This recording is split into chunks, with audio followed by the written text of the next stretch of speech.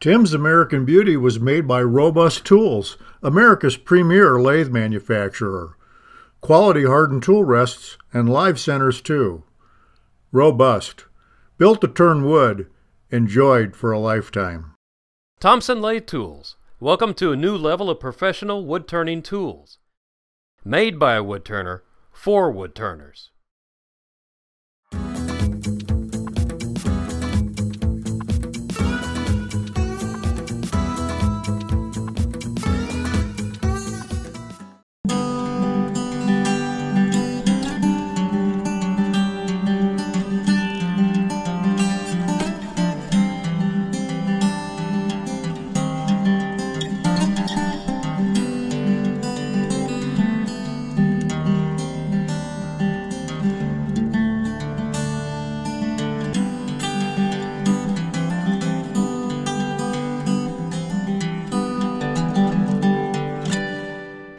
Mushroom is a very classic turning project. You take a green piece of wood, put on the lathe like this, and turn this all in one shot.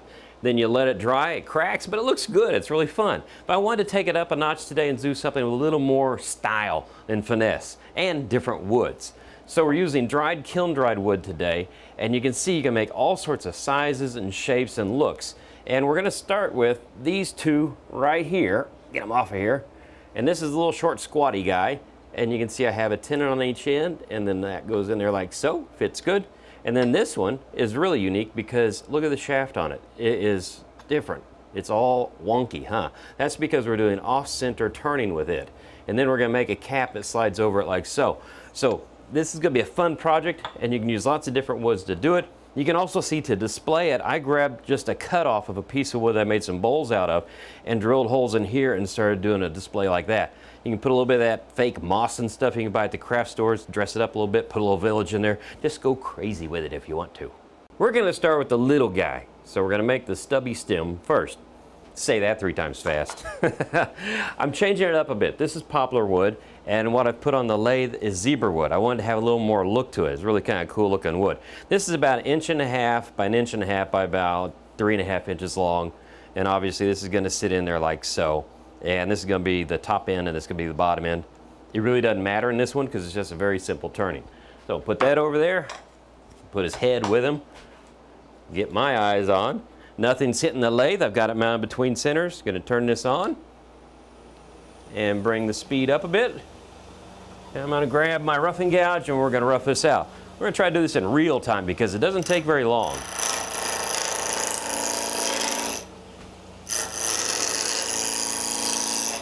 Just moving my weight from left to right, pinching on the tool so it doesn't slide forward and it keeps the depth consistent. And I'm using the tool rest as a guide. And you can hear when you get into solid wood, no chattering. You can do that. A little bit of bumping. That means it's not quite rounded out, but not super important in this project. Okay, I'm going to grab Let's see, who do we want to start with? Let's go with my spindle gouge. This is a, whoop, that's a bowl gouge. uh, there he is. I'm gonna go with a uh, shallow fluted, or deep fluted spindle gouge with a little swept back grind. And I'm gonna just uh, start taking the wood down. And like I said before, you can make any shape you want. Mushrooms come in all sizes, colors, shapes. You know, I've never seen any two look alike, even if they're the same type when I'm out walking around the woods looking for wood. Yes, I do that. Anyway, I am making a basic bead here, and then I'm scooping at the end. Just one nice flowing shape. So I come here like so. And I'm letting the tool ride. And it kind of come out like so. So that is the tip. We're going to take some of the end off here. And I love this because you don't have to make a perfect cylinder. You can really make, like I said, again, any shape you want, but you can also make it flow any way you want, if that makes sense. What I do want to try to do is make it look stumpy at the bottom, like it has some weight, like it came up out of the ground. And I've got that there the way I want it. So the next thing I'm going to do is we're going to get our parting tool. There it is. And I'm going to run over this way real quick. Follow me we are going to drill Well, follow me back over here. there we go. We're going to be making uh, quarter inch tenons. So I'm going to just take my calipers with a quarter inch drill bit, widen that out, get that right there, tighten it up, and now I can make my tenon. So we'll come in here with the parting tool, and we're going to start parting this down a little bit. Now you can see I'm a little bit away from the uh, project with the tool rest. So if you start getting out this far, you might want to stop the lathe and move the tool rest a little closer. But this is a very light cut we're doing. And you know, actually before I make the tenon shape, uh, one quarter inch, there is one thing I want to do. And that is to sand it now while I have thicker tenons on there and put a finish on it because I'll be using some pressure. And if I go to the quarter inch tenon, it'll snap it if I put uh, too much pressure on it. So we'll leave it a little thick and we'll start on, move over to the sanding process now. Now I've been messing around with a new sandpaper. Well, it's been out a little while. I'm just a little bit behind the times. It's called Abranet and I've talked about it in other shows. And the cool thing about it is it's mesh and you can see through it. And that helps the uh, sawdust and stuff go through it. Doesn't build up like old sandpaper used to. Uh, but as I've been experimenting with it, I've been coming up with different ways of using it. this is part of the different way. Um, when you hold just the Abranet to the wood, since it is mesh and it is see-through, you feel a lot of heat. And it's also, it's got the loop part of a hook and loop on the back, so this is like soft and fuzzy, you can't get a good grip on it. Well, I was looking online, and I, I got the Abranet from Steve Worster with turningwood.com, and then I found a company called The Sanding Glove, and they've been around for a while, and they actually sell it's like neoprene, it's kind of rubbery with the hook part of the hook and loop. And you can get it either thick like this, or you can get it in a thin sheet like so.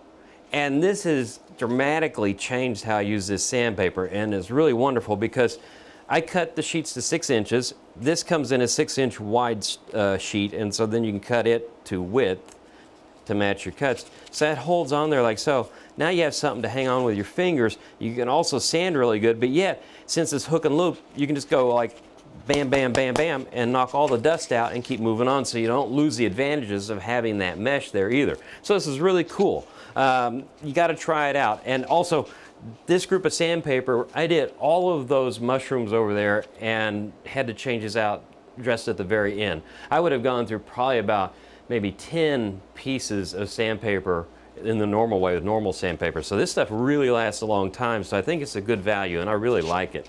So, got my mask and everything, so let's get to sanding.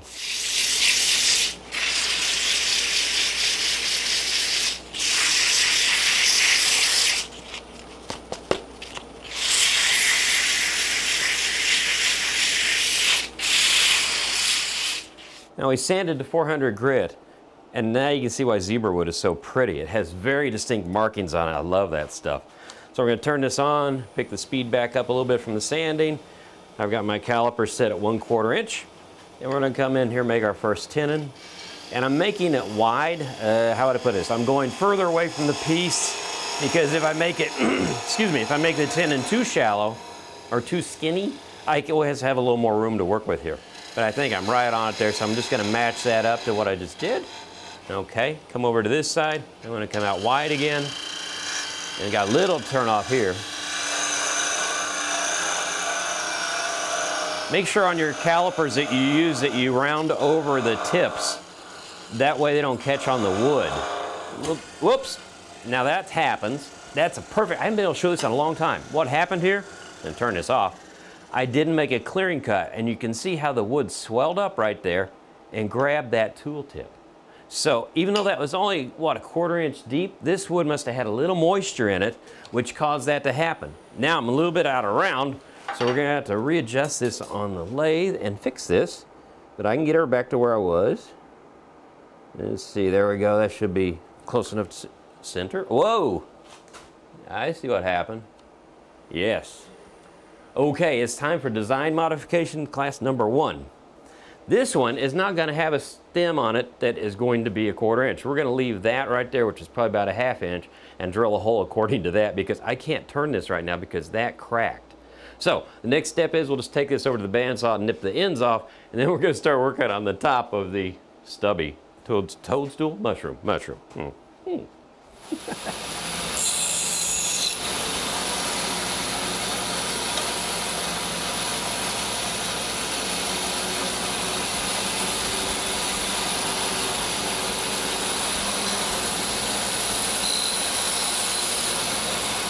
Now we're ready to do the top, and it's a skinny little thing, isn't it? But it's really wide, which makes it look kind of cute.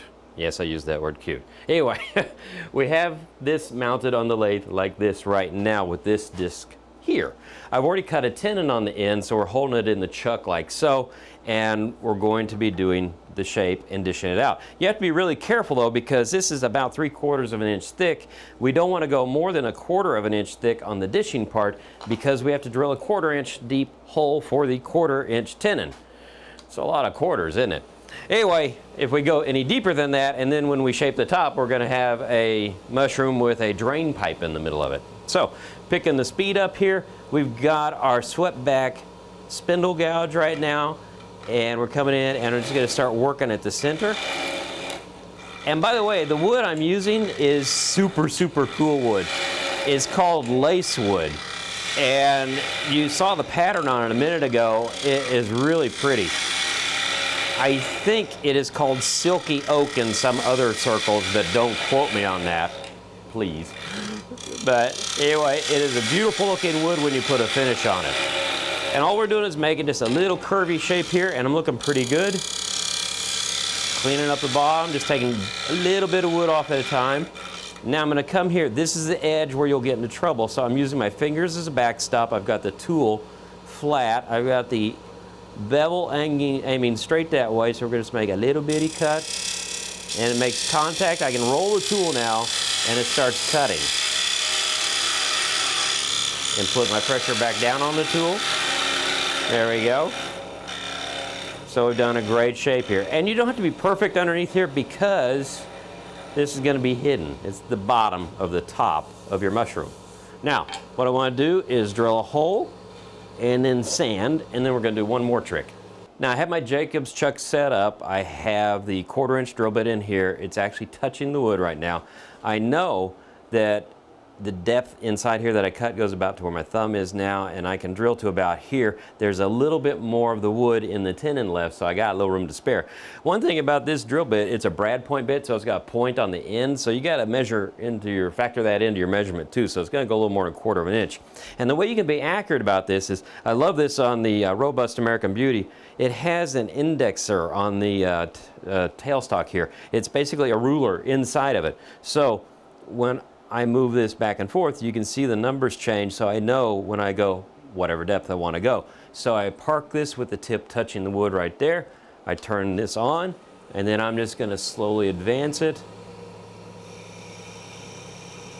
one quarter of an inch. There I go. So now I've got my depth right there and we're done. We're ready to flip this around. Okay, as we said before, I hope you watch this all the way through before you follow my instructions because we don't turn it around just yet. We still have to make the recess that we're gonna put in here so we can hold this when we turn the jaws around. Now, I have the piece of wood still mounted, right? And it isn't sanded yet. And the reason it isn't because we do that recess and you can see the chuck jaws right here. They, they fit right into there really nicely. So that's what a recess is all about. And Easy Wood makes this easy change chuck jaw system that is really cool. And if I wasn't able to change my jaws that quickly, this would be more of a pain for me and I really wouldn't enjoy it as much. so I have the width that they start spreading out is two inches. So I have this on here, my calipers are set at two inches. One of these is sharp, one is not. You only want to touch one to the wood. That would be the one closest to me. And you're gonna see a mark up here. Okay, that's not two inches yet. Now it's matching up. That's two inches. So I have this set perfectly level on center and I'm going to take my skew on its side and come in here and make that recess. It doesn't have to be very deep, maybe an eighth of an inch. Going to come a little bit wider just to make sure it's going to fit on the jaws. And then I'm going to turn the tool to make it flat so it sits flat on the jaws.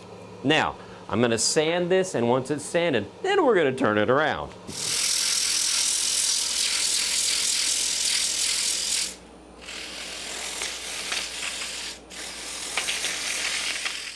Tim's American Beauty was made by Robust Tools, America's premier lathe manufacturer. Quality hardened tool rests and live centers too. Robust. Built to turn wood. Enjoyed for a lifetime. Thompson Lathe Tools. Welcome to a new level of professional wood turning tools. Made by a wood turner for wood turners.